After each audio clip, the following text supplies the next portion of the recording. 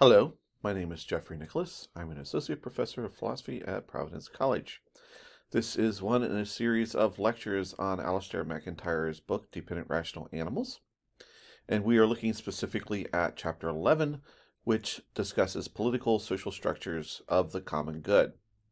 Uh, so, just to remind us uh, where we've been and what we're doing, MacIntyre proposed three theses at the beginning of this book. The first one, our resemblance to and commonality with non human animals, and we have explored that in relationship to uh, beliefs, uh, reasons for action, and pre linguistic beliefs and reasons for actions that we share with the non human animal world. So MacIntyre concludes that we cannot separate ourselves entirely from this non human animal world, and that our human identity is primarily, even if not only bodily and thus animal. The second thesis is that there are virtues of independence that go hand in hand with virtues of not acknowledged dependence, and we have discussed those virtues in the last couple of lectures. And finally, the modern nation state and the modern family can provide no structures uh, that are needed to develop the, the virtues. And so that's what we're moving into now uh, with this uh, lecture here.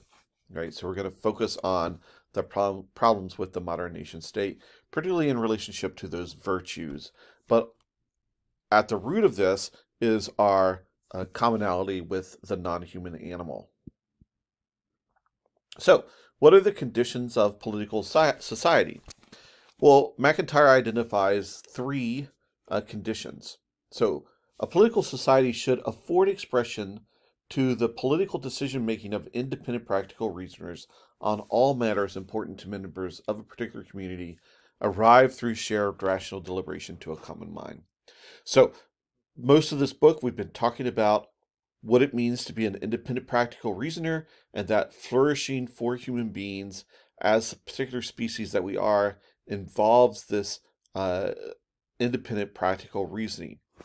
And so, if we're going to be independent practical reasonings within that requires communities and networks of giving and receiving, then our political society should allow the expression of that power of practical reasoning where we arrive through a shared deliberation to a common mind. That's what the political society should express. Okay. What is it that our common mind has come to through this shared deliberation? That is a far cry, of course, from uh, the modern nation state, and we'll talk more about that in just a second. Second, uh, the conditions of political society should establish norms of justice which align with the exercise of just generosity. And we talked about the virtue of just generosity in the last couple of chapters. Uh, so this is there's no single type of community that does this, right? There are a variety of communities that can uh, instantiate the exercise of just generosity. But the community must be able to do that if it's going to be one that allows human flourishing.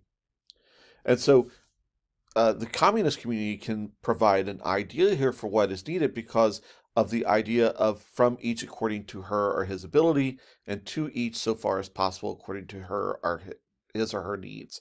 And so, what we're looking at here, of course, is the uh, the the dependency that we have as human animals in relationship to our community. So we each need to take from that community so that we can develop into uh, independent practical reasoners, but we also need to give back. And again, this is not about strict reciprocity, as MacIntyre has uh, uh, argued throughout.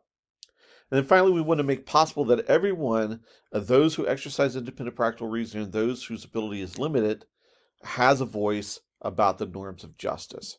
And so this ties in uh, with the first and second conditions because, of course, it's that independent practical reasoning through which we uh, exercise our species human power and come to that common mind. So we want to make sure that everyone is able to to uh, contribute to that. And then second, that our uh, norms of just generosity mean that we make it as possible, uh, as much as possible, right? Because we give to each according to their needs, the participation of each person in establishing those norms of justice. The modern nation state, of course, does not do that right? The modern nation state works not to articulate or to instantiate the articulation of the common mind of the people through rational deliberation. Rather, what it does is it works on compromises between conflicting economic and social interest. So, what's important for the modern nation state is bargaining. And we've seen that uh, in the last uh, couple of years, uh, but particularly with uh, the uh, example of COVID and um, the relief that was given to uh, various individuals and corporations by the elected legislators legislators to help mitigate the factors of shutting down the economy. And so what we saw here is a bargaining between those who wanted to protect uh, big corporations, and so we saw lots of money given to big corporations, and those who wanted to protect uh, those who uh, simply don't have enough money to go through uh, long stages of of uh, unemployment, and so we saw a little bit of money given there, and uh, the bargaining was within uh, the uh, legislature, but also without, uh, and what was going on there, as we saw. And of course, there was bargaining about what we do uh, to protect ourselves from COVID as well, right? In this situation, money is power. Okay, and there's no way around that within a, uh, a capitalistic, market-driven society. Money becomes power, and so it corrupts the uh, possibilities of human uh, deliberation. So that what happens is money overrides that deliberation, and bargaining is all that's left to do. And those with the most money have the most bargaining power. So the distribution of goods does not reflect the common mind achieved, right? Uh, we saw this particularly uh, at the uh, in 2007 2008 with the uh, economic crisis caused by the banks and instead of the uh, goods being distributed to those who needed housing we saw those goods given to those who caused the crisis. So in fact uh, in 2008 there were more empty houses than there were homeless people but the government did nothing to help those who'd lost their homes because of uh, poor uh, uh, buying into poor uh, uh, uh, housing loans and did lots to help the banks who knew what they were doing. Okay. Another critique of the nation state, and we've seen this as a cause of many problems within the 20th century, is the idea of the people of the nation state as a Volk, as as people of uh, hearth and blood, uh, kinfolk who are identified as one. This, of course, led to uh, the uh, Nazi uh, extermination or attempted extermination of uh, Jewish people within the German Reichstag. but we also see this in arguments against immigration in the United States and in arguments for Brexit uh, in the United Kingdom, where there was the idea that we are Americans, we can't let these people come in and take our jobs. And the same thing, we are British, we cannot let these people come in and take our jobs or our money, and we can't give our money to these other people, right? And so there's an illusion here that stops us from exercising just generosity and misericordia to where we respond to those who are in need.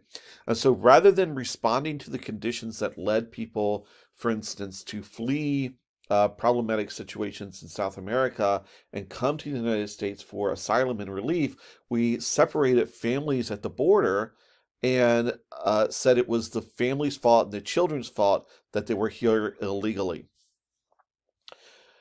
Uh, finally, local communities must uh, be able, be wary of entanglements with the nation state if they're going to try to articulate that shared common mind through deliberation. They're going to need to rely on some things from the nation state, uh, and yet they have to be wary of how that might entangle them in uh, power plays within the nation state and where they might lose. And we see this, of course, in many cases with Native Americans. Uh, and so the No DAPL movement was a movement uh, by uh, First Nation peoples of America, particularly the, Lakota uh, in um, uh, the um, Sacred Heart Camp in Dakota to protest the um, uh, Dakota Access Pipeline that was rerouted from Bismarck to uh, the reservation because the people of Bismarck had more bargaining power than the people of the reservation. So the United States, who promised to protect Native American land and gave them this reservation as their own, violated that reservation promise because they had the power to do so. And we saw this again in many cases uh, with the treatment of Native Americans, but also with blacks uh, throughout uh, the centuries of the United States. Within this situation, the modern family is not one that is able in many cases to help children to develop as independent practical reasoners.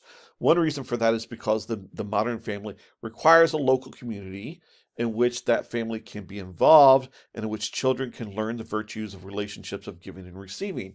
In most modern communities, particularly in the United States, whether we're talking about uh, urban communities as in New York or uh, Providence, Rhode Island, or we're talking about uh, suburban communities or we're talking about really rural communities, those relationships of giving and receiving are put in jeopardy because of the demands of the market. If you've seen the movie um, uh, Food Inc., you can recognize this by the way that uh, various uh, agribusinesses jeopardize local family farms uh, and remove the possibility of that community to develop itself and to develop those relationships of giving and receiving because the agribusiness needs that that uh, profit that they're going to take from the local farm and take over that local farm. The modern state itself threatens local communities, right? And it makes it difficult for families to succeed in teaching the virtues. Uh, and uh, here, the family is conceived as distinct and separate from the social unit. And so the family is seen as something private and the social unit is something public. And this is, of course, something that uh, feminists have uh, railed against in the last couple of decades. And yet, what we see more and more is that the state treats the family as something private that it cannot get involved in. Families are not enough. We need local communities to develop these relationships of giving and receiving. And certainly, COVID has taught us that, that it was in those um, communities and not within the larger nation state where we were able to protect ourselves and to develop those relationships of giving and receiving. And yet, what the nation state does is try to curtail that and make it impossible for those communities to survive because it challenges uh, both the market and the power within the nation state. The community then must also, because it is a foundation of uh, relationships of giving and receiving, and because we are trying to articulate this common mind through shared deliberation, make it so that the disabled are uh, uh, given a place at the table for conversation right?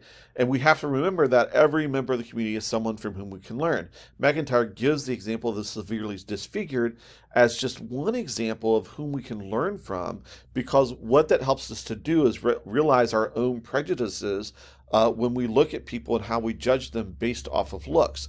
But he also says that we can learn uh, much from the severely disabled, and particularly we can learn uh, what it is to give ourselves over in care to others and what it is to act as a proxy for someone.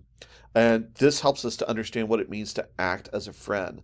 So we can learn from the disabled and they uh, can learn from us. And so here, the disabled is, are as much a part of the community as uh, any able bodied person. And of course, uh, emphasizing throughout that at many times in our lives, uh, we are in situations of disablement. The other thing that we have to remember is that political reasoning is our everyday reasoning. And I think this is something that we forget in our modern society because we think of politics as something that happens every few years, right? We go to the poll and vote and then we stop, right? And we don't want to talk about politics at the Thanksgiving table or any other time. And yet, what MacIntyre is arguing is that because we are independent practical reasoners and because we need those relationships of giving and receiving, that that political reasoning is our everyday reasoning because it's only as uh, we are able to identify the goods that we share with others that we are able to identify our own goods, whether that's within the family or within the workplace, right? Because many of these goods are shared. And he gives the example of the local theater, right? We can't know what the local theater means to us until we deliberate about that. And so everyday activity is political activity for MacIntyre and for uh, flourishing human communities.